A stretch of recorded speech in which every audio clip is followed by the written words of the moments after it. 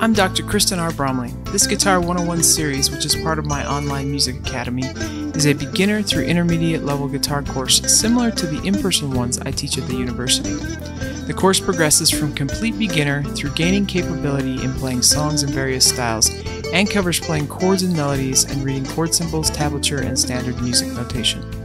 With the Guitar 101 course, we use three of the books from my Method Book series Chords and Harmony Books 1 and 2, Note Reading Books 1 and 2, and Tablature, which are all available for purchase through Amazon and Google Play.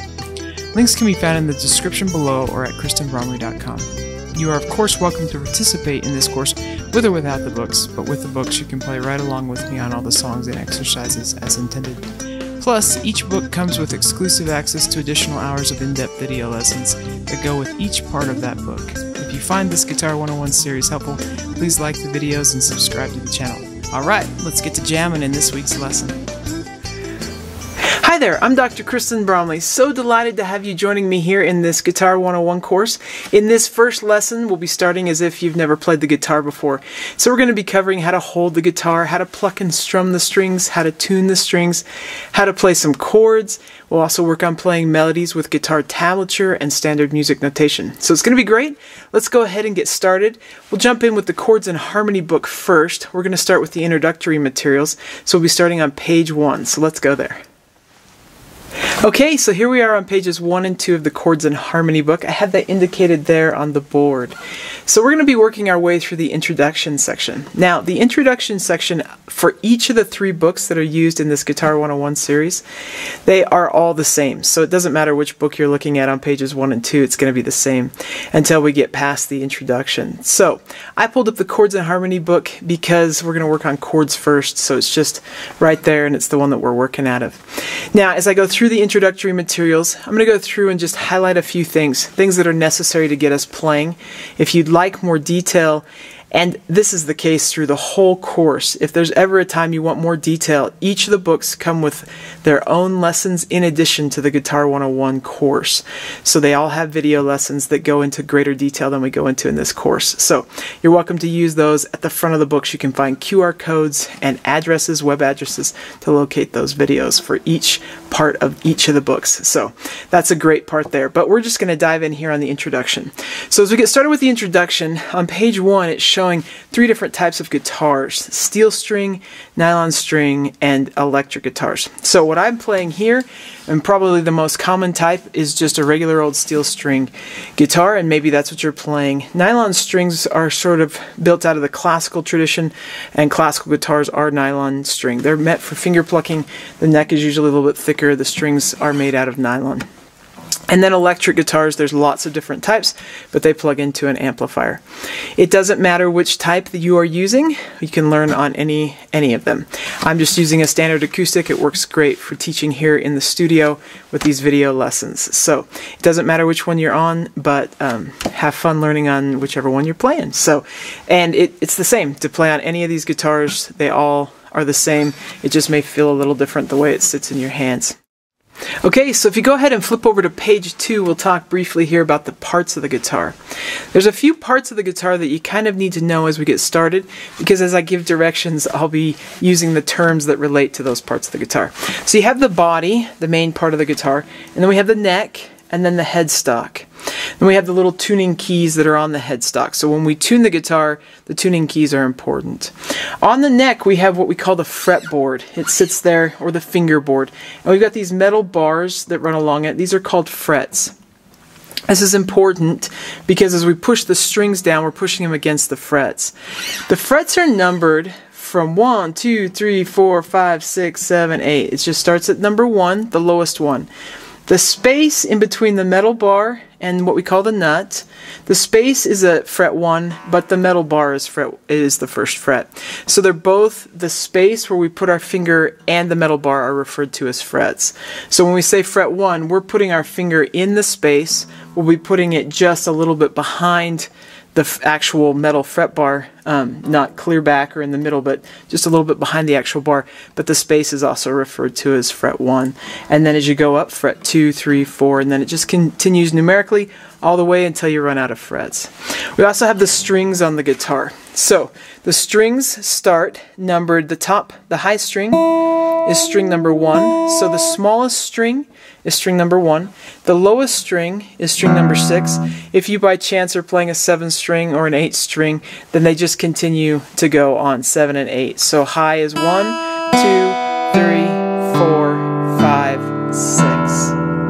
Okay, that's going to be important because as we're figuring out where to put our fingers to play chords and to play notes, to play melodies, I might say second fret on the third string. You'll need to know where that third string is and where that second fret is. Okay, besides that, you have a bridge back here. The strings come through the bridge or over the bridge, over the nut, and then they, they tighten there in with the tuning keys. All right, so the next thing we're going to look at is how to hold the guitar, which is over on page three. So let's go there. Okay, so here we are on page three. We're going to talk about how we hold the guitar. I'm not going to go into too much detail with this, but the most important thing is to sort of eliminate tension throughout the body. So if your right arm is way up in the air as you're playing the guitar, if you imagine walking around like that all day, eventually that's going to create some pain there in the shoulder and in the arm. In the left hand, if I'm bending my wrist really far backwards or forwards in some some sort of strange, unnatural way, you walk around all day like that, you're going to get a lot of pain through the wrist and some injury potential there too. So we want to sort of be relaxed as, as much as we can, and we want to be sitting comfortably or standing comfortably. When standing, you need a strap, and so for most guitars, that strap connects right back here. There's a pin. Mine has a pin, so back at the, the back part on the side of the guitar, the rib, comes behind my back, under, under my arm up over my shoulder and then most guitars either connect here at the heel just near the neck or they come down and they tie on down by the headstock just behind the nut. And so we stand. In both cases the guitar is sort of situated in a similar place. When sitting it rests on our right leg and then up over our our arm comes. Our arm is going to connect. The elbow is going to be right around somewhere where the side and the top sort of meet, just in a comfortable fashion where my, my shoulder feels somewhat relaxed. The left arm comes around, the thumb is played behind the neck, and then the fingers wrap around and push the strings down against those frets. In the left hand, I want to avoid some weird sort of bending in my arm there. It should just kind of naturally come around. To get that happening when standing or sitting, it can help to have the guitar just a little bit elevated or tipped up so that your arm has room to come around. And it should feel pretty natural just the way it drops from your shoulder there in the left left arm and then comes around to the guitar.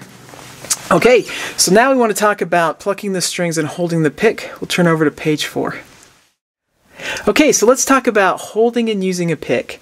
Now, some of my students, when they're first starting out, they prefer not to use a pick. They just like to use their thumb to strum and pluck the strings, and that's okay. And then eventually they start working on using a pick, because a lot of guitar playing is best done with a pick. Some is done with fingerstyle. We'll talk about that into the course quite a ways when we start working with fingers, but we'll be doing everything with a pick, or if you're not ready for a pick yet, you can use that thumb in place of the pick.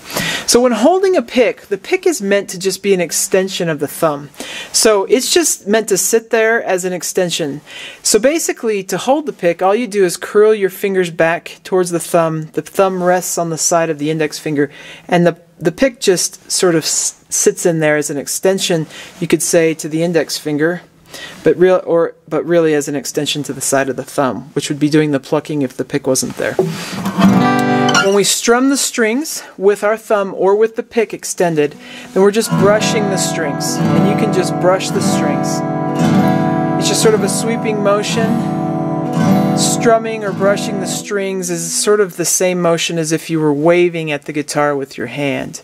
So whether I'm just using my thumb, I'm using the side, I'm using the pick, it becomes an extension held between that index finger and the thumb, just strumming those strings or brushing them.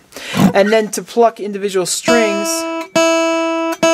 just grab it whether with the thumb or with the pick. We hold it there. Now, when I'm strumming, I usually have, oh, not quite a centimeter sticking out. You want to be careful not to have too much, otherwise you probably drop that pick eventually, and you don't have as much control on the sound. It's really tinny, and And at any given moment, I might drop it down the sound hole, which is a, a fun game getting it back out. But I usually have about a centimeter, a little less than a centimeter when I'm strumming. Sometimes when I'm plucking notes, I go a little bit tighter and it's maybe half, half a centimeter, and I have a little more control. So that's holding the pick, you get kind of used to it. When I am strumming, it's coming from the elbow with a little bit of give in the wrist. When I'm plucking the individual strings, then I'm sort of planting my wrist back here near the bridge so it sort of rests there and I have a little bit more control to pluck one note at a time. We'll see that as we work on melodies and strumming. While you're there on page four, that's where the diagram is that specifically shows where those frets are. We talked about it, but there is a diagram showing you on the guitar fret 1, fret 2, fret 3, fret 4, and so forth. And then the, the strings numbered 1, 2, 3, 4, 5, and 6. The strings also have pitch names, and those are written there. So the note, or the individual sound that rings out, that's what we hear when we mm-hmm. play one at a time and those note names are there. So we have E, B, G, D, A, E. Now this is going to become important as we tune the guitar and that's what we're going to do next. Okay, so here we are on page five. We're going to talk about tuning the guitar. As you can see there, there are multiple ways that you can actually tune the guitar. The simplest way is with an electronic tuner. It's probably also the most accurate way. So that's the way I'm going to explain here just briefly. And again, if you want more information or more in-depth help with tuning the guitar, then you can check out the videos that come with these books. You could also check out our quick answer lessons, or I should say my quick answer lessons that pertain to how to tune the guitar in the various ways that are there on the page if you want more help with that. So you can buy or purchase a pretty inexpensive tuner these days. And the one I'm holding here is a clip-on tuner, so it clips on to the end. These are accurate and it doesn't get distracted um, or messed up by ambient noise. You can also download apps that are for tuning. They all work about the same way. It's not that complicated. The purpose of a tuner is to help you know if the strings are ringing sharp because they're strung too tight or flat because they're strung too loose. And so with the electronic tuner, it's going to have a meter that's going to help you know if it's ringing sharp, that'll be to the right, or flat to the left. And so the zero at the top, zero cents, that's where we want our measuring line or our meter to measure straight up. And some tuners will change color, like mine turns green when it gets to that point and it's in tune. So if I hook it up to the guitar and I pluck a string and it rings sharp, it's going to be over on this side somewhere, depending on how sharp it is. If the pitch is ringing in as being sharp, it's too high, I need to loosen the string until it comes down and is in tune. If it rings in flat or too low, then I need to tighten the string until it comes up and is in tune. When my strings are too tight or too sharp, then I usually slacken them a little bit to the point of being a little bit flat and then bring it back up. Sometimes that's an easier way to get the string in tune is just bring it a little low and then bring it back up if it's too high. If it's too low, then I just bring it up and bring it into tune. So my guitar is in tune, but we're going to play with it just a little bit here. So this, this low sixth string, if I tighten it, it goes higher, and we can hear that. If I loosen it, it goes lower. So this is kind of backwards from righty-tighty, lefty-loosey. It's all about the natural movement of the left hand. My natural movement in the left hand for these up on top is to actually turn to the left. And so I tighten by turning to the left and I loosen by turning to the right. But in my left hand, I'm tightening going the natural way that my left hand wants to turn and loosening by going the unnatural way. That's going to be the case for all of the strings or all the tuning keys for the strings that are on this side of the headstock. Underneath, it still works that way, but the strings are actually I'm actually tightening to the right and loosening to the left. So I'm still tightening the way that feels natural, but my, my wrist is flipped upside down. So I'm actually tightening to the right and loosening to the left because I'm upside down. The strings, if they're strung properly, will come the through the inside of these posts and then wrap around. And so I tighten or I tighten to to raise the pitch and I loosen to lower the pitch. So now that I've gone ahead and mess this up a little bit. My E string is ringing in, though you probably can't see it there, but it's ringing in a little high, and so I'm just bringing it down until it's into the zero. And it, it got right back in tune. This guitar's been in tune for a while, so I didn't have to lower it and bring it back up. And then my E string was also a little bit high, and I just brought it back down. So, you want to do this in gradual movements. On the electronic tuners, some of them will have an option to go chromatic. And that in that case you really need to know what the names of the pitches are. If we've gotten out of the range of the pitch with guitar, it can be a little bit hard with a tuner to find it with the regular one on guitar setting because it's looking for that specific pitch and you may be way past it. So sometimes it may help to compare to the piano compared to another another guitar.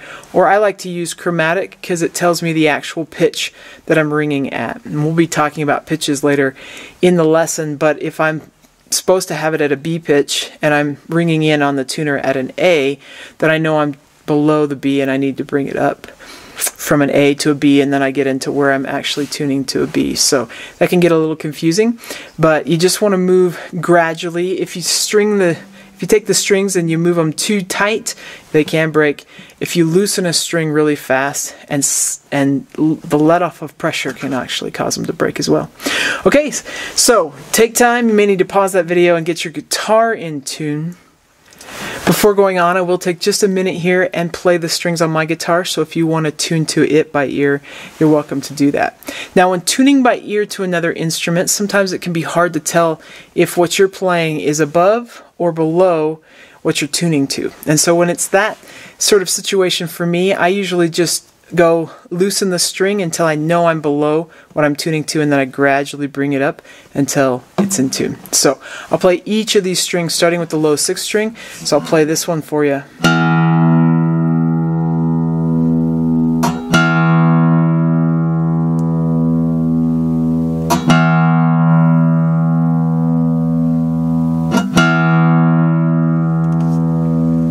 Okay, I'll do the A string or the fifth string.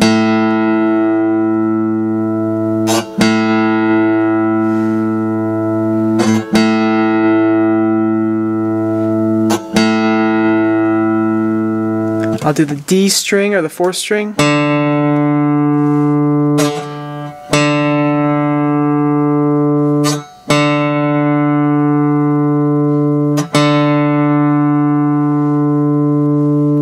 I'll do the third string or the G string.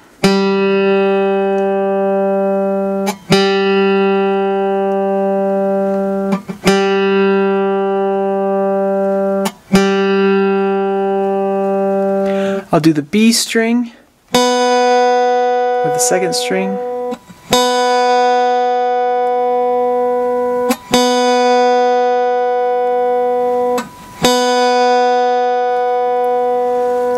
I'll do the E string or the top string, the high string.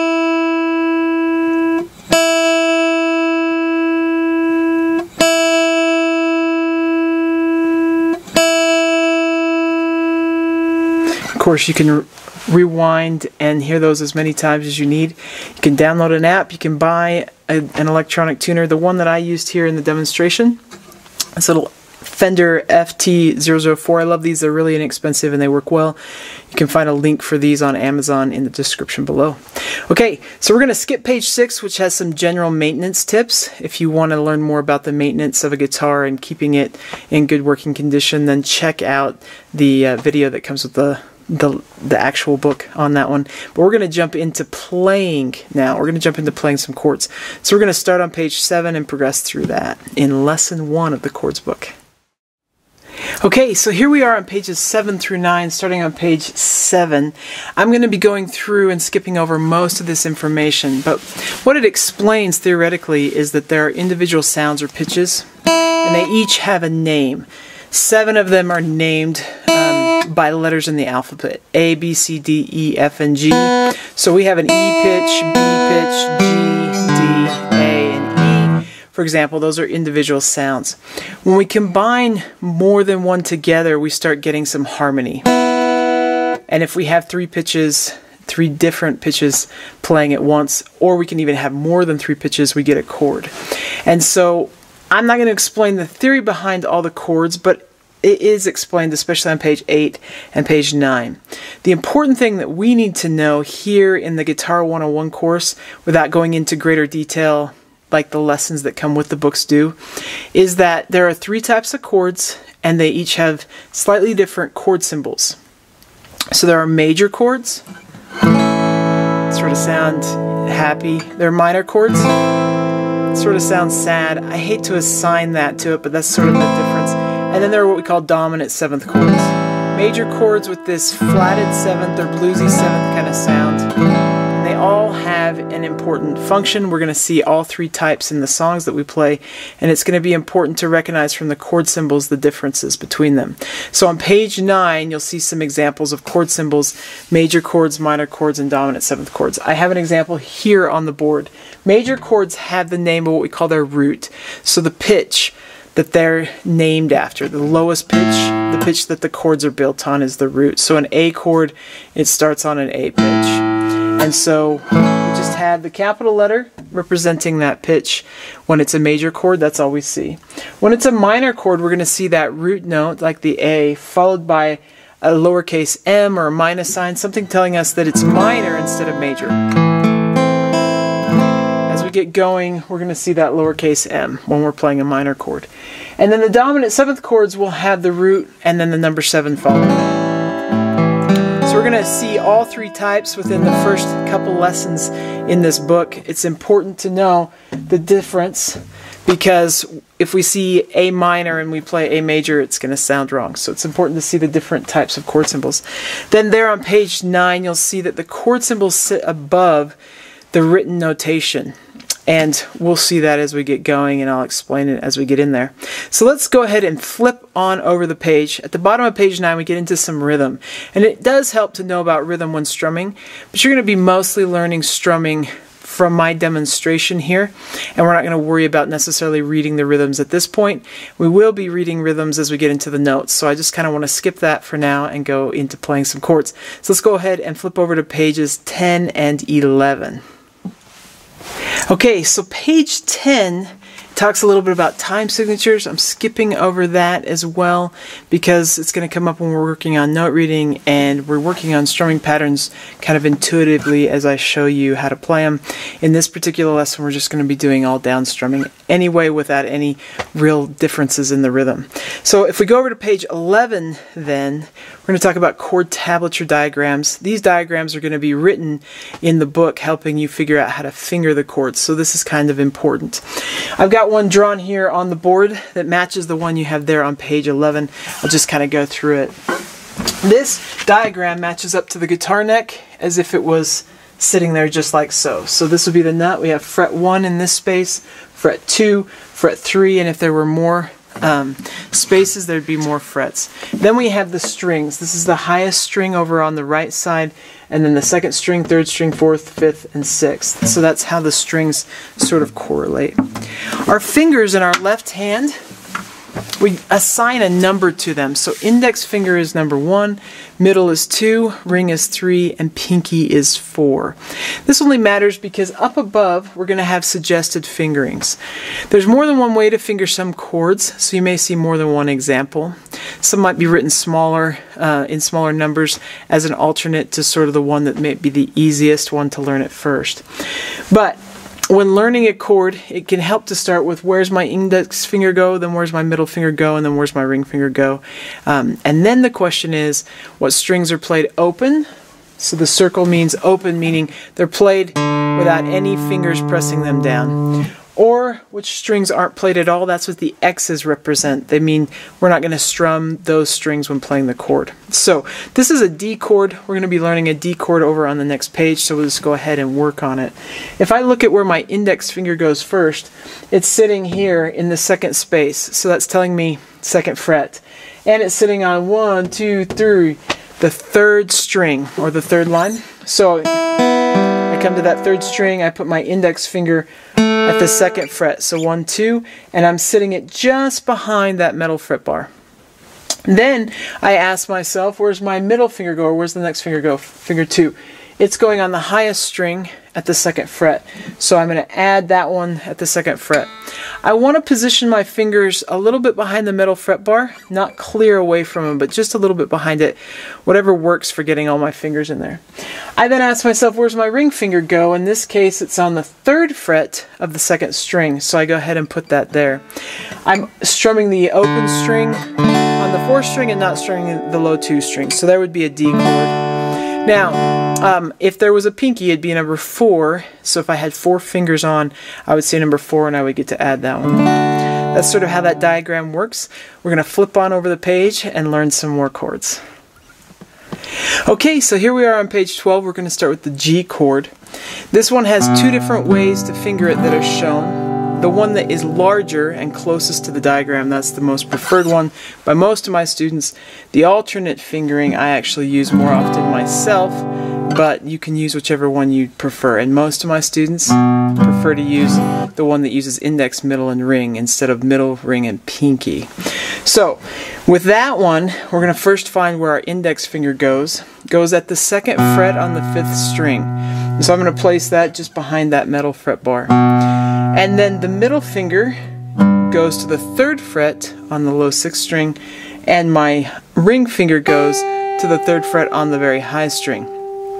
And then all the strings are strummed. So there's no strings that aren't strummed. The ones in between those that we're fingering are strummed open. So we can just strum all six strings. It can help as much as you can to keep your fingers on the tips but as you're first getting that coordination worked out in your hands, you may find that to be a little bit of a challenge. Now, if you'd rather use the other fingering, then your middle finger goes at the second fret on the fifth string, ring finger goes at the third fret on the sixth string, and pinky goes at the third fret on the top string. So, either way works just fine. I'm going to play it for today the way that probably most of you will choose to finger it. So if we just strum, now we talked about strumming just a few minutes ago. You're just going to brush the strings with the pick as you're holding the pick, or if you're not using a pick, then you just brush the strings with your thumb. Most of the strumming motion is in the arm, but there's a little bit of play in the wrist as you can see as I go through. I'm not holding a stiff wrist, I'm not gripping the pick as hard as I can. I've just kind of got it there nice and loose and it's just really uh, fluid as if I was just waving to somebody only now that same motion is being used as I strum the guitar. I have my fingers, uh, I hold the pick tucked back in underneath so they're not flailing out. That creates tension through the hand. So I've just got them tucked nicely in sort of a little closed hand position. That's a comfortable position for the hand and then the pick just steps in there You could do the same thing with your thumb, just have your fingers nice. If you're using your thumb, have your fingers nice and relaxed. Okay, so we're going to play number one on page 12, which is just strumming down on the strings. The vertical lines divide that music, or the staff there with number one, and all of them, into to equal measurements of time. So they're called measures. Or because there's a line that divides them, sometimes they're referred to as bars, as those are bar lines. You see these diagonal slashes on the music that's showing how many beats are per measure. And so there's four beats per measure. There's a time signature at the start of the song that shows us that 4 4 time. And so there's four beats per measure. We're just going to do four down strums per measure. So a down strum per each of those little slash marks, as we call them, or four down strums per measure. So here we go. And really what we're doing is, as it can be repeated as many times as you want, we're just going to be practicing here, strumming on the G chord. So let's go ahead and do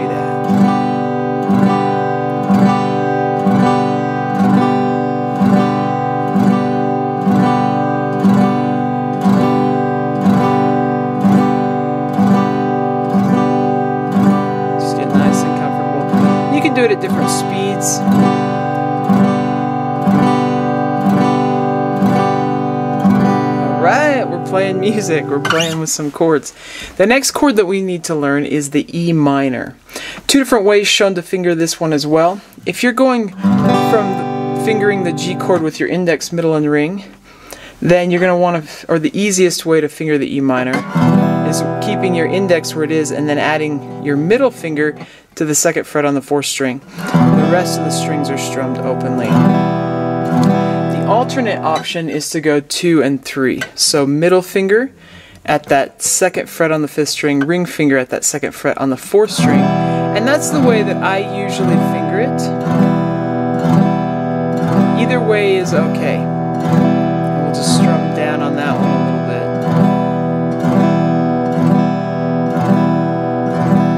go to play number two on page 12, we're going to go back and forth between the G chord and the E minor chord. So if you're taking the fingering with index, middle, and ring, and then going to index and middle, I can leave my index finger down as I go back and forth between the two. And you just want to switch back and forth, back and forth, trying to help your memory, uh, getting that locked in your mind of, of those two chords. You just want to get it, get it in there. And going back and forth is forcing, forcing it into our memory banks.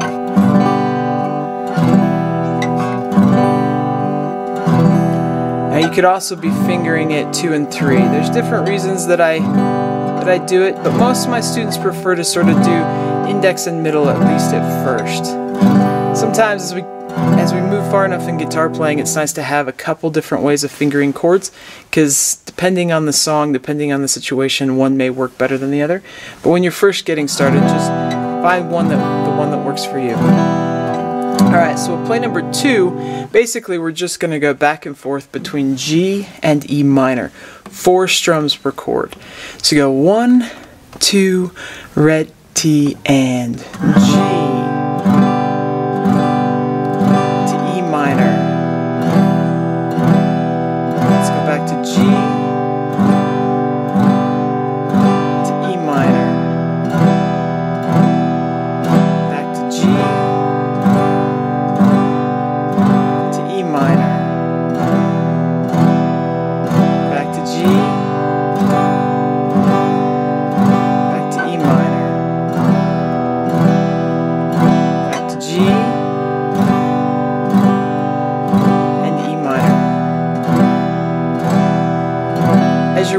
working on playing these chords and getting used to that switching back and forth, back and forth. And you can go at whatever tempo you need to. Um, the important thing to aim for, at least eventually, is to not pause between. But as you get started, you may find yourself going one, two, three, four, pause, switch, coming back, and going back. And that's okay initially. But eventually what you want to be able to do is keep your right hand going and you can actually hide the change. And so I usually anticipate a little bit as I'm getting to that fourth. I'm thinking, okay, I got to change. So I'm changing at the end there. Think about changing. Now, I've gotten pretty fast. I've played the guitar thousands and thousands of hours. But when I was first starting, or as I'm working with students who are first starting, it may take a little bit, and if you can keep the right hand going, you can sort of hide the fact that you don't have the chord finger just yet. So if I go G, and then I gotta think about switching, and if it takes me a second to get there, if I can keep my right hand going, it sort of hides it, even if it's taking me a second. So that's something to aim for as you're working on learning to play the guitar. As you can get your right hand to keep going and focus on that change in the left hand, you'll get faster. Okay, let's go ahead and we'll work on the next chord we need to learn, which is the C chord. So this one's going to use three fingers, each one in a different fret. It's a little bit more spread out. For some, this one's harder than the others. For some, it's easier. It just kind of depends. we start with our index finger at that first fret, second string. Then we skip over and we have an open third string. Our middle finger goes at the second fret on the fourth string, and our ring finger goes at the third fret on the fifth string. With this one, we are not supposed to strum the sixth string. It won't kill it, but it obscures the meaning of the chord. It kind of muddies it up a little bit. So that one has an X on it there on the diagram. So we're not going to play that one. In this case, we just try and strum and learn to strum just the top five strings and gain that kind of control. thing I will point out is if your hand comes up and your thumb's over here, um, that's okay. It's not technically maybe the best technique, especially if we're working on like classical guitar or something, but it's more important that you find a good pressure point and that you're not doing something weird with your wrists, some sort of bend. So however you can naturally come to it, and if for you that means pushing from more of this part of the hand, that's okay. I go into that mode a lot I'm playing these chords down here, and I can still play because my wrist is, is happy when I need more ability to have room to move, I, I couldn't do that from there. It's too tight on that on the fingers. But when playing chords and anchoring, it's good and it's better than having some sort of weird weird bend to the wrist as you're going. So I just point that out. Okay, so let's play the C chord here for a moment. Maybe you've got that figured out. Sometimes when I'm in this mode, to help, I my thumb, since it's up here, it can just mute that fifth string and it won't ring. So if I overshoot with my right hand, I don't have to worry about it. So here the C, we're just strum C here for a moment.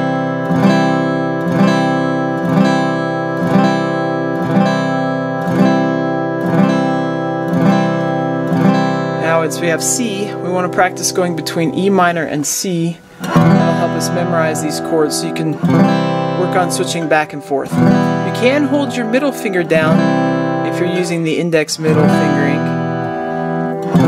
But that might that might be harder pivoting on that middle finger. So when switching to a chord like this, it can help to plant the index finger first and then add the others. So you, if you can think, where's my index finger go, and then add the others, sort of in succession, then you'll be okay. So, C, and then we got the minor. Going back to E minor, maybe it's not as hard to pivot on that middle finger, or you might be starting over your full fingering, and if you are, then again, you're going to plant that index finger and then find where the others go. So back and forth between C and E minor.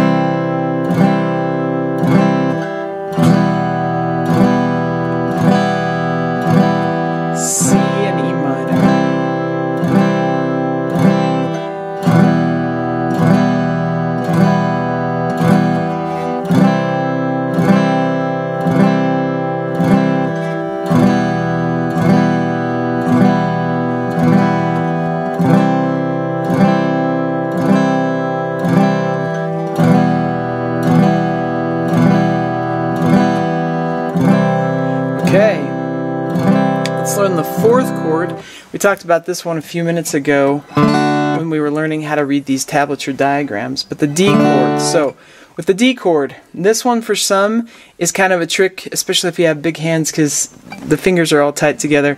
And for others, it's like, great, I don't have to have that big stretch like you do with the C chord. But the index finger is going to go at the second fret on the third string. The middle finger goes at the second fret on the top or the high string, string one. So they're in the same fret and then the ring finger goes on the second string at the third fret. With this one we strum the open fourth string, but we're supposed to not strum the fifth and sixth strings. So you see the X's there. So we're just strumming four strings. If you occasionally get those other ones in there, it just sounds muddy. I'm doing that now.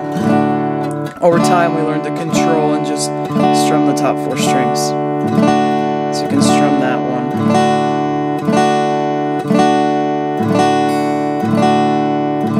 Okay, we're going to go from C to D to C to D. So, this one you have to completely change both times. So think about where I put my index finger, add the others. Plant the index, add the other fingers. Plant the index, add the others.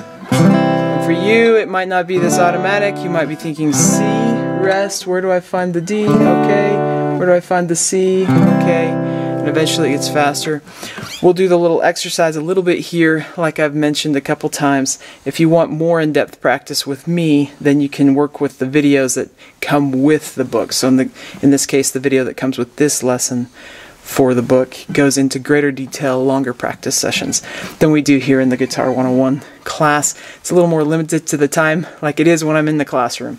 I only got 45 minutes to an hour. So, but we'll so we'll just go ahead and jump into playing D and C. But I'll just remind you that there are other places you can practice more with me if you want to. So here we go, starting on the C. Ready and we got C, now to D, C,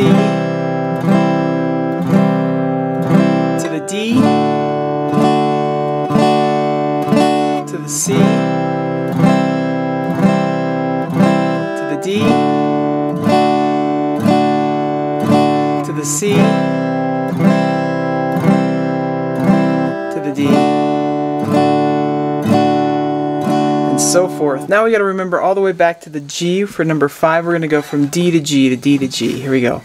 Ready? And we have D. Then the G. We got to plant those fingers.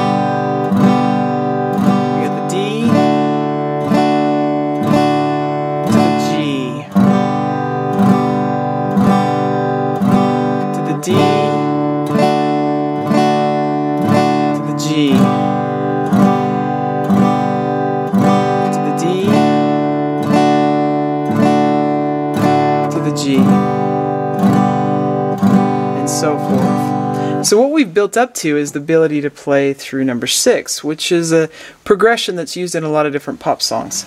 So and, and in various keys, but we're going to play it here with the four chords that we know, and that's G, E minor, C, and D. So G, E minor, C, and D. Four strums per chord. One, two, ready, and.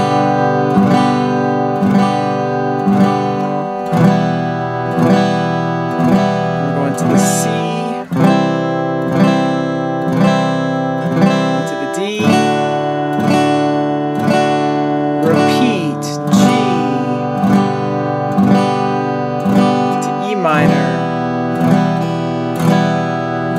to the C to the D. Again G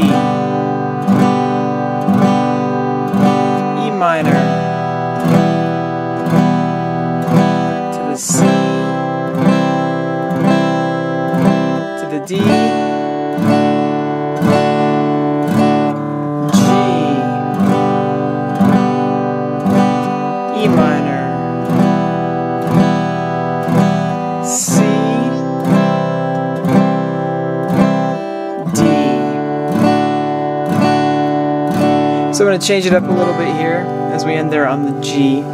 We're going to practice that switching with a little bit faster strumming and then come back to what we were just doing. So we're going to practice G and then switch two, three, four. Four beats to switch. Four beats to switch. Four beats to switch. Okay, so here we go. Uh, one, two, ready, go. G. Switch to ready and E minor. Switch to ready and. Switch to ready and. Switch to ready and. Switch to ready and. Switch to ready and. Switch to ready and. Switch to ready and. Switch to ready and. Switch to ready and. Switch to ready and. Switch to ready and. One more time. Switch to ready and. Switch it to ready and. Switch to ready and. Switch to ready and we'll just end there on G. Okay, let's go back and we'll do it as written where we don't have any breaks in between. So you got one, two, ready, and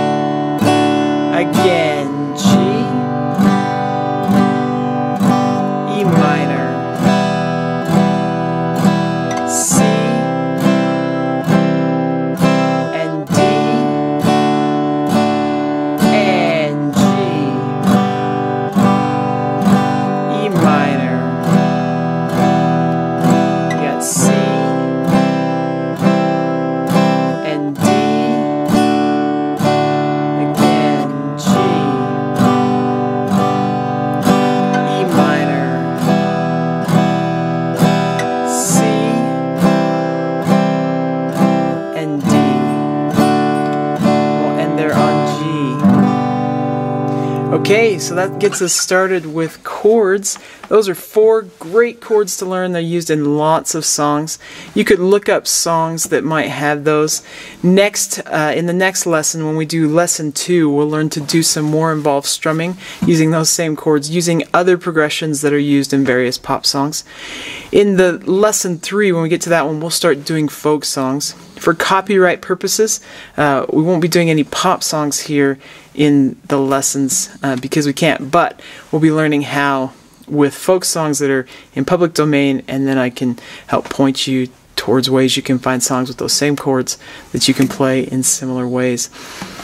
Pop music is kind of like uh, today's folk music, and so there's an overlap in the way they play. But we're getting started on those chords. If you spend just a few minutes every day going through that, you'll start locking those in. With playing guitar, you kind of fight to jump and then you hit the next stair or the next level and you just fight and then you hit there and suddenly you can do it. It's kind of that not gradual every second getting better, but just kind of fighting to develop the ability and then you jump to that step. So, in this lesson though, the next thing we're going to look at is the note reading. So I'll give you a little bit of introduction into playing melodies through reading traditional notation. So that's what we'll do next. We can pull up the note reading book. Okay, so we're working with the note reading now. So we're in the note reading books one and two book. We're on page seven. We're going to start here with just a teeny bit of an introduction into note reading and how it all works. And then we're going to do a little bit of note reading. So reading melodies with standard music notation. So notes are the individual sounds or pitches that we hear, just one individual sound, whereas the chords have multiple pitches that make that chord. But when we're talking the notes, we're talking about one sound. There's 12 different pitches and they repeat in different ranges, so higher and lower. So here, for example, is an E pitch that was played in different octaves or different different ranges. In theory, it goes to infinity lower and higher, but of course our ear can only hear so far.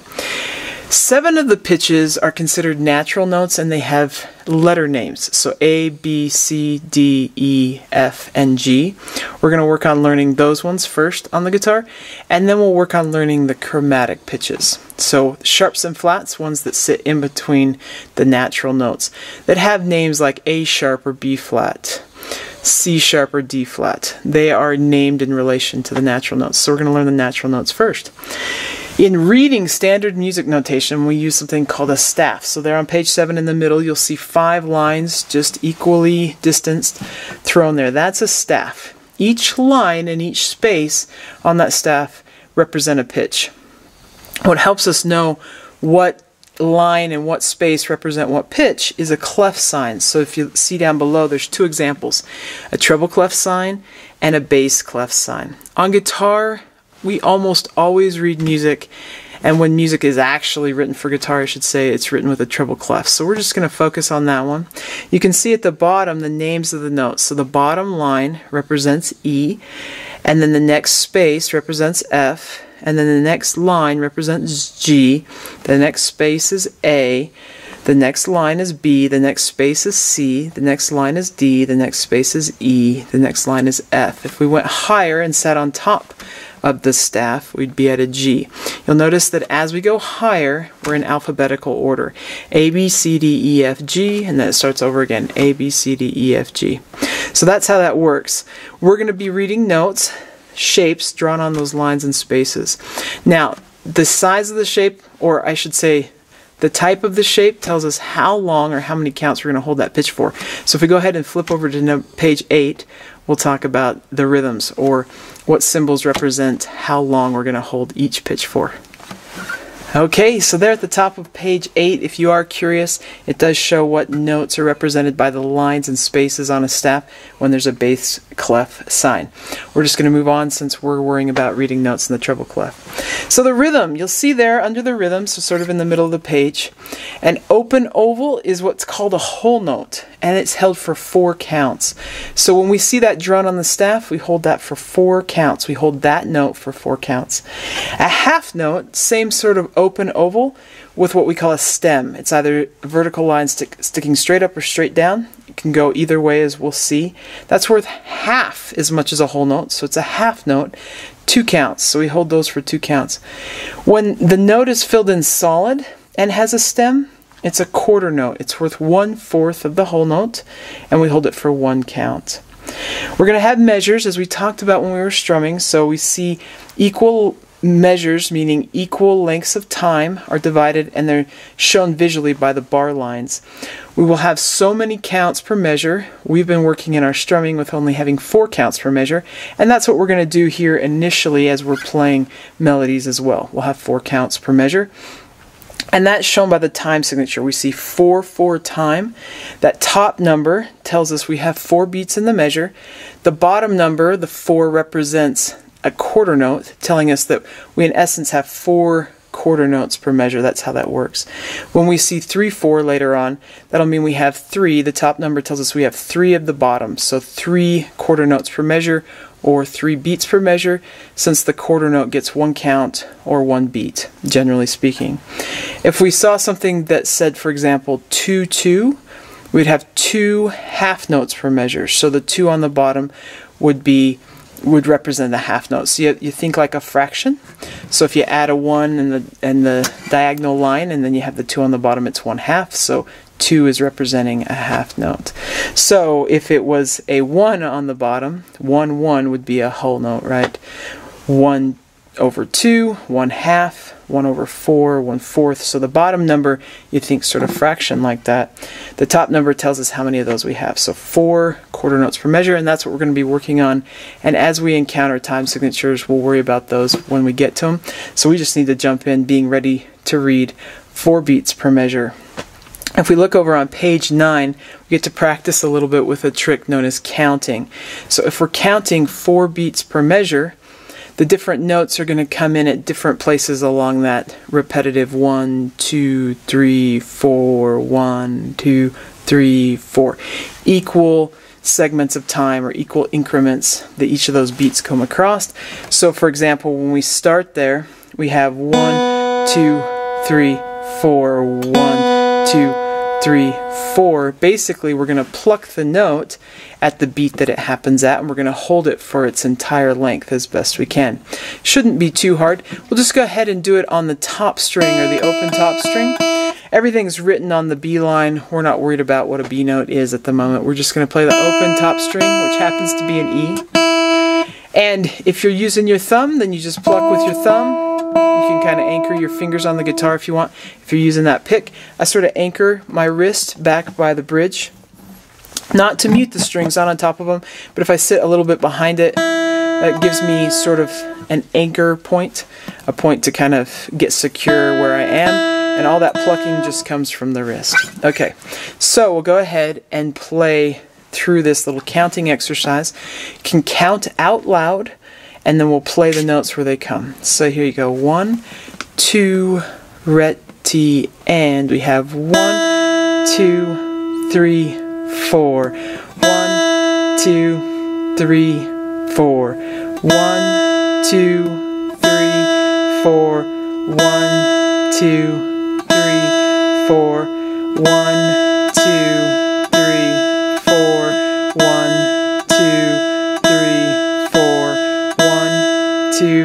three, four, one, two, three, four, one, two, three, four, one, two, three, four, one, two, three, four, one, two, three, four, and we're off. Okay, that's a little introduction into to playing the rhythm. When we go over and start playing melodies, we're going to be reading what note we're playing, we're going to have to worry about that, and how long we hold that note for. There at the bottom of page 9, it explains tablature diagrams. We were using them with the chords, so I'm not going to re-explain it here. It's the exact same thing, only we're going to have just one note shown on on where to play. So the, the name of the pitch will be above and then it'll show us where to play it and we'll see a recommendation on which finger to use to play that note. Generally speaking, we want to play the notes in the first fret with our index finger, the notes in the second fret with our middle finger, the notes in the third fret with our ring finger, and the notes in the fourth fret with our pinky. Okay, so if you flip on over to page 10, we can get started with playing these notes. So we first need to learn what they are. At the top of the page, you'll see written on the staff a pitch. So we see the E pitch written there in the top space of the staff, and then the diagram above shows us that that E note, that top space, is played as the open top string on the guitar, so the open E string. And you can just pluck that a few times. If yours sounds like mine, then you know you're playing the right note. Okay, so on to the F note then. That one's at the first fret of the top string. It sits on the top line of the staff. So that's where our F is. I'm going to use my index finger since I'm in the first fret, and I'm going to try and play it on the tip. Put my index finger a couple millimeters behind the metal fret bar. If I move it back too far, it's harder to get a good tone. So when I get it just up behind the metal fret bar, not on it, but just behind it, can get the best tone. And I'm on that tip, I'm using my thumb behind around the second fret to get some leverage and just push down against that. So that's the F pitch, top line on the staff, first fret on the high string. Then we got the G that sits on top of the staff, and that one's at the third fret, and I'm going to use the ring finger. So I recommend you use your ring finger. Same thing, I'm going to try and play it on the tip. I'm going to set it just a couple millimeters behind the metal fret bar at the third fret. So we have E, F, and G. We'll go ahead and play number one there on page 10. Number one has all whole notes, so we don't have to worry about really how long the different pitches are going to last, because they're all going to last four counts. Here we go. One, two, red T, and we have E, two, three, four, two, three, four, G, two, three, four, F, two, three, four, E, two, three, four, G, two, three, four, F, two, three, four, E, two, three, four, off. And it's really important as you're doing this that you keep using open string has no fingers, first fret, first finger, so the index finger, third fret, third finger, or the ring finger. You want to keep that happening as you do, you learn this stuff a little bit faster. Let's go ahead and play number two.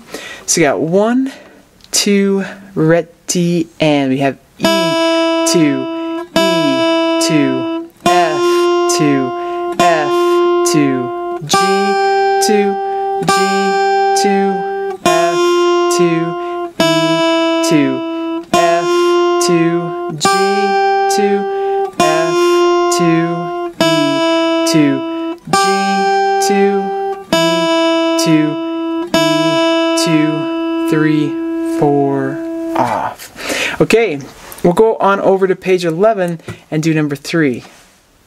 So number three has all quarter notes except for the very last one. So we get to practice these notes with quarter notes now.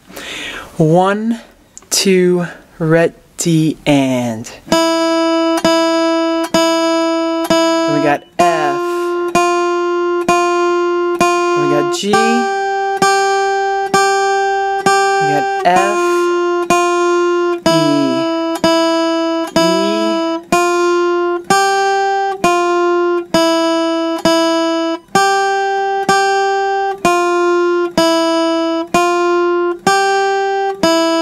Two, three, and we're off. A great practice is to say aloud the names of the notes while playing the notes. That helps lock it in to the memorization that we're working on. So this is kind of a left-brained activity at this point.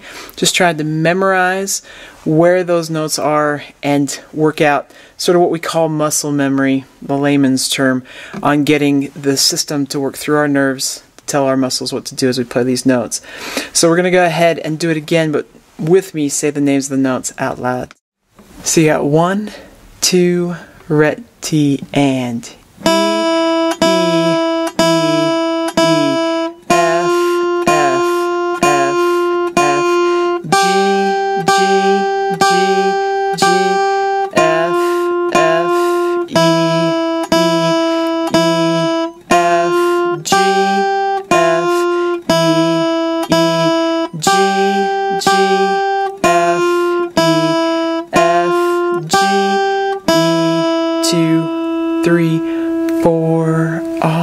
Okay, we'll do number four.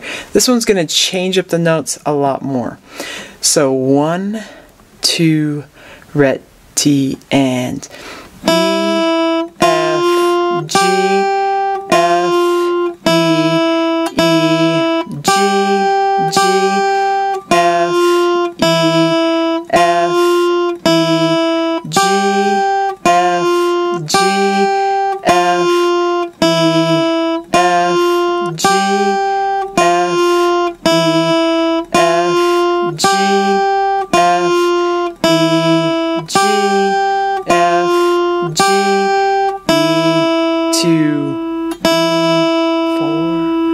Okay, we'll do number five. This one's going to change up the rhythm as well as having the pitches change up. So, E string pearls. There's not a lot of familiar melodies, if any, that only use three notes. As soon as we start getting into more notes, we'll have familiar melodies. As it is right now, you get to play with my creativity on limited rhythms and limited notes, but hopefully it's kind of fun. It's kind of like Guitar Hero. You get to play along with me. Not to say that I'm your guitar hero, but I should be. No. The uh, you get to play right along with me, and you just get as many as you can, and you work on it, work on it on your own. Come back, try and get as many as you can again. Pretty soon, you've got it as good as I've got it. So here we go. Number five. One, two, ret T, and we have E. Two, three, four. G. Two. F. Two. E. Two. G. F. E. Two. G. Two. F. Two. G. F. E. Two. F. E. G. Two. F. E. F. G. F. E. Two. Three. Four.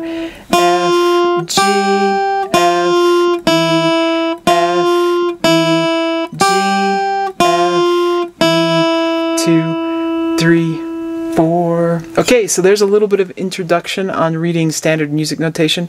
Work on that just a little bit. Each class of this Guitar 101 as well. The other thing that we're going to introduce today is how to read tablature notation. So we'll go ahead and grab the tablature book and start doing some tablature. Okay, so we're on to the tablature now. We're going to be on page 7 in the tablature book. I've got that indicated there on the board.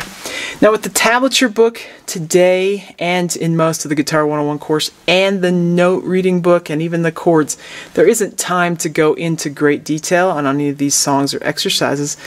This course is designed just like the ones where I meet with students once or twice a week and we work on some stuff together. They work on some stuff on their own. But each of the books has in depth lessons that go through each of the songs and exercises in great detail. There's explanations about the theory and the different aspects of the music that go into a lot greater detail. So if you want more detail than what you get here, you just use those video lessons that are shown. You have the addresses and QR codes at the beginning of the books that show you for each of the lessons and each part of the lesson. There's timestamps that show you where you can jump to in those videos to find help or to get to play along with me more than what happens here in this course. So that's going to be the case for tablature right now as it was for the introduction into the note reading. You can do that and even in the chords if you want more practice there or if you ever just get antsy and want to go ahead, then you can do that as well. Okay, so tablature, page 7. Tablature is a type of notation that's specific to the guitar. The guitar is sort of a complex instrument to learn to read notes on, and that's for a couple reasons. One, we've got these six strings, we've got all these frets, and the pitches seem sort of random. When we look at written notation in relation to the piano, there's a pattern to the keys of the piano, so it becomes obvious where the C notes are, where the A notes are, where the E notes are, and so forth. But on the guitar, we have to sort of memorize it.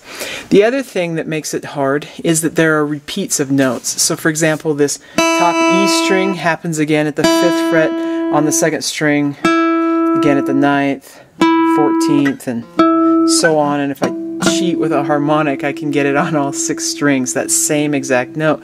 So you have to sort of pick. Now, as we're working on written notation, we're going to stay down in an area where that overlap only happens once, and so we're able to ignore it, and that's really helpful. But what tablature did, and this was the first way that they started writing music really for guitar and instruments like the vihuela or the lute, instruments that the guitar grew out of, so its parents, so to speak, and grandparents, is that all you'd need is a line to represent each string, and then with numbers you could tell what fret it goes at. So there on page 7, right in the middle you see tab running vertically, but we have six lines instead of five. So tablature staff has six lines. Each of the lines represent a string on the guitar. The highest line is the highest sounding string. The lowest line is the lowest sounding string. So that high string, the top, the top line, is string one or the highest string, the E string. The next line down is the B or second string. Then you get the G or the third string, D or the fourth string, A or the fifth string, and then E or the sixth string. So we have six strings. And then the numbers are going to tell us what fret. So if we're on that high string or written on the high line, we see zero, that would mean that we play that string open or without any frets. If we see a number one, we play the first fret. Number two, second fret. Number three, third fret. Number four, fourth fret. Number five, fifth fret, sixth, seventh, eighth, and so on. We're going to stay within the first four frets for quite a while as we're working on reading melodies and playing melodies with tablature.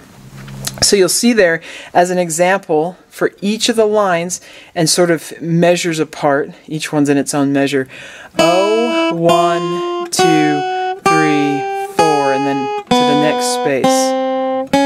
This is a great warm-up exercise as you get your fingers working and as you're starting to learn to play the guitar. This is a great thing to do, just what's written here, and we're going to do it together.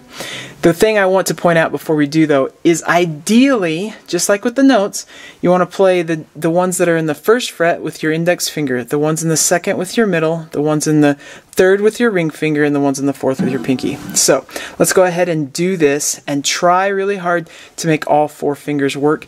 As an exercise, as a warm up, as a finger development thing, it's really crucial that we make all four of those fingers start working. That's going to make learning to play the guitar and our ability to play the guitar grow and go that much faster.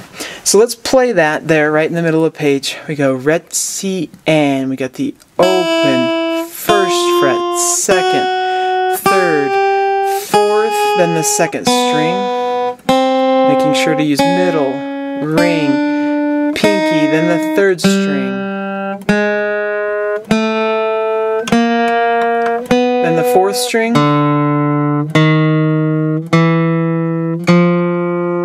the fifth string,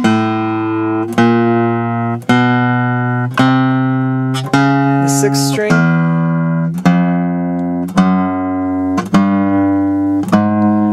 that's all there is to it. Now, we can do that again. We're going to do it just a little bit faster, but you could pause the video or use that as a warm-up every time you go to play the guitar. It'll start developing the muscles in your hand. We'll do it again just a little bit faster. Uh, one, two, ready, go.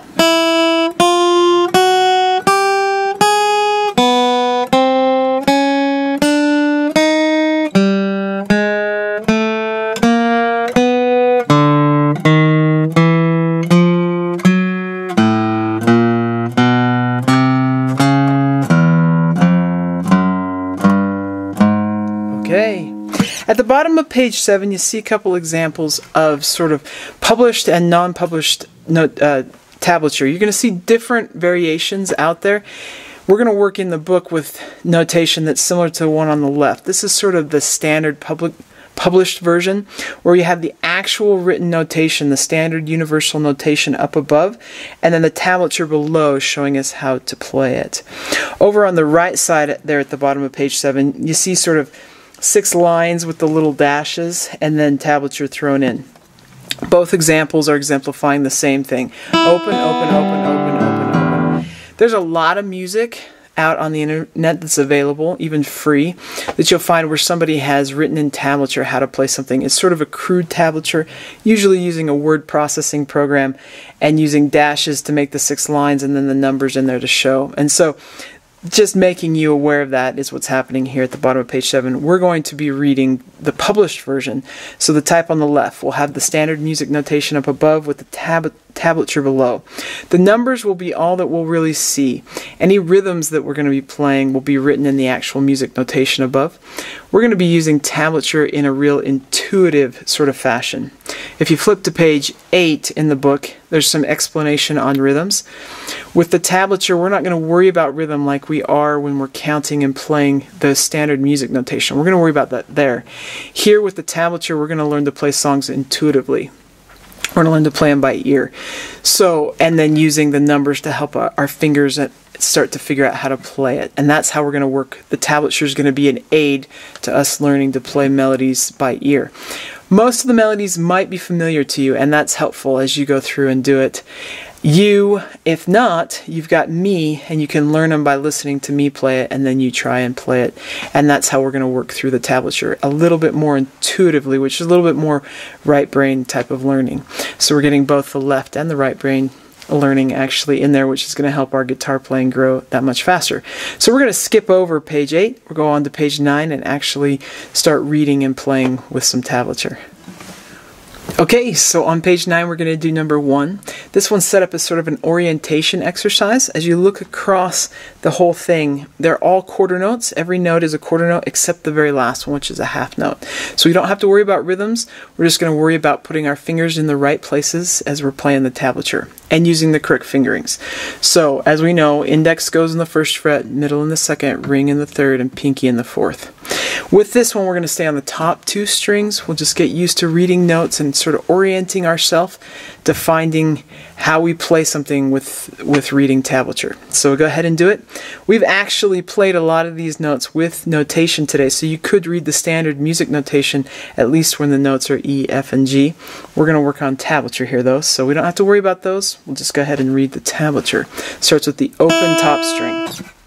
Since everything is a quarter note, you can just focus on reading more than actually having to worry about what it sounds like. But I will play it accurately, so if you're off, you'll know something's not quite right in how you're going about it, or your hands got moved, or whatnot. So here we go. One, two, reti, and we have open, open,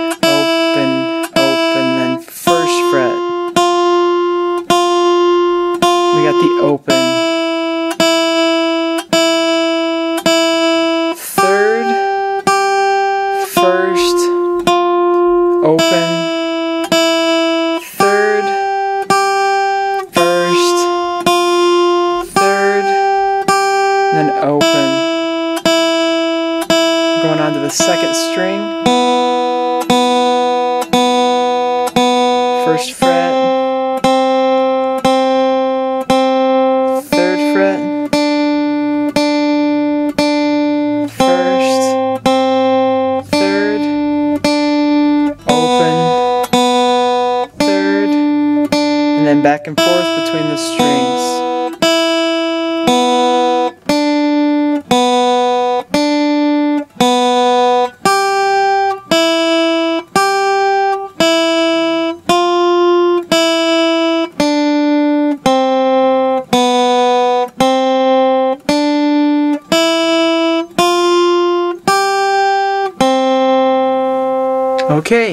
Now I'm going to go on to the next page. We'll do pages 10 and 11 and work on some other exercises. You can play that one as many times as you need to to get comfortable with the tablature. I'm just introducing this to you today. And as I've mentioned, the videos that come with the book exclusively go into greater detail, practice at different tempos. But I'm going to go ahead and flip over to page 10 and 11 now, do a couple more exercises and a couple familiar songs. Okay, so we'll do number two. You'll notice as you glance over it that there's a couple places where the rhythm breaks up from being constant quarter notes. So like in the fourth measure, we have a whole note, so we're going to hold that pitch for four counts. And then at the beginning of the second line, there's two half notes, so we'll hold each of those for two counts. And then the final note uh, is a whole note again, and it gets four counts. Otherwise, we got all quarter notes. We're going to use a little bit more with our middle and pinky, so the fingers get a little, little bit more involved than what we had in the last one, but it's good for us and it should be kind of fun. So here we go. One, two, ready, go.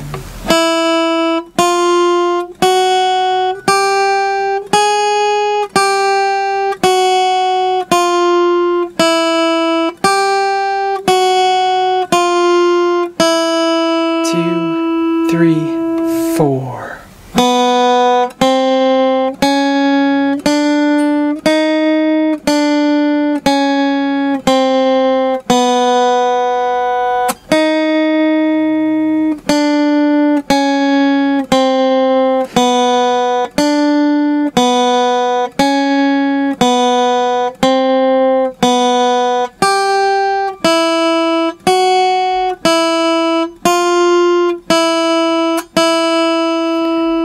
Three, four, off. Okay, I'm going to go on to the next one, so number three.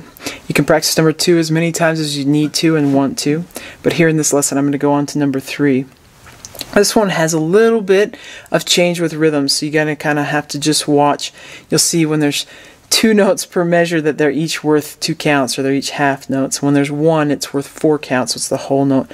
And when there's four, we've got the quarter notes happening.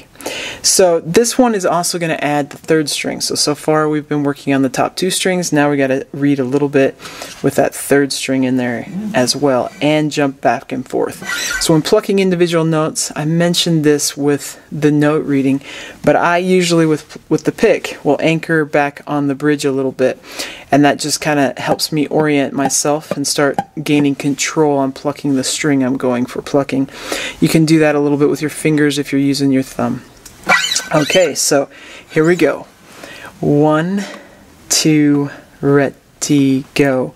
We got open.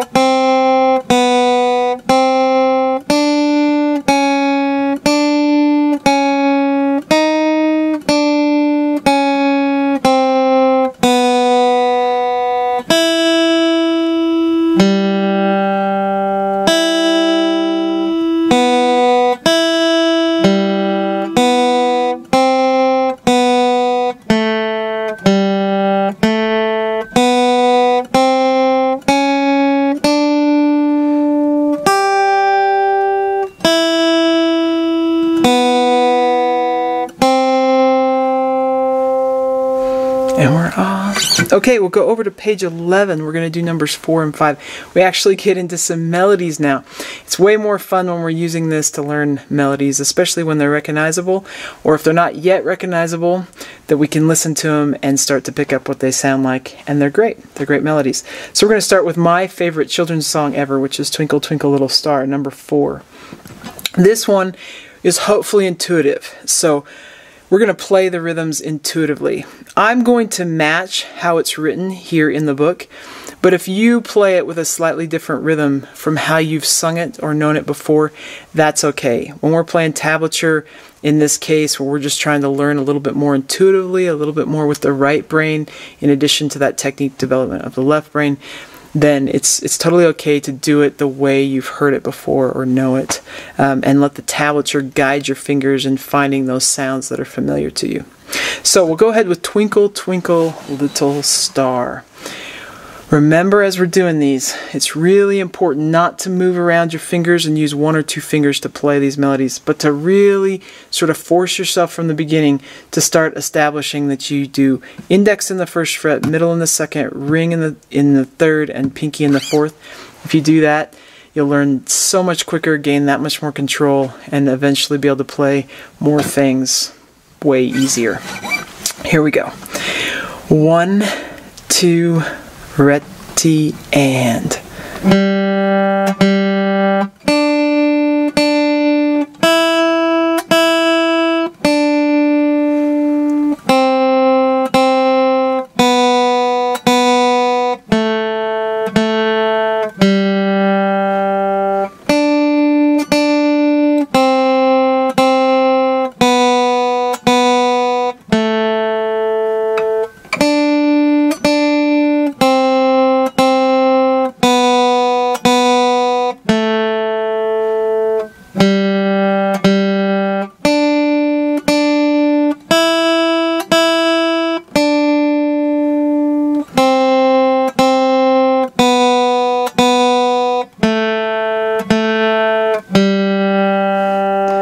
Okay, I love that melody.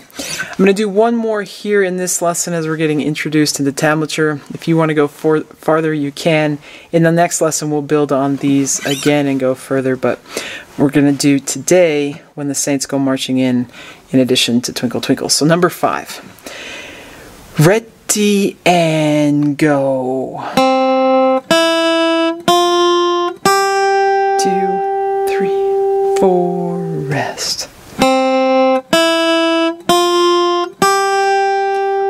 Three, four, rest.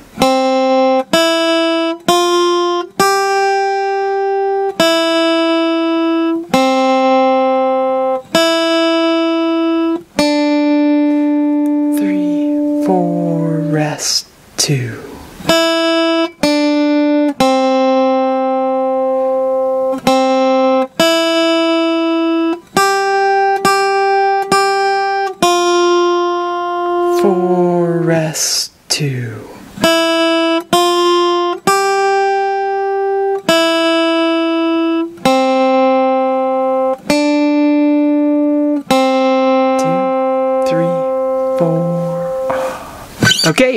So that gets us into tablature. Tablature is fun.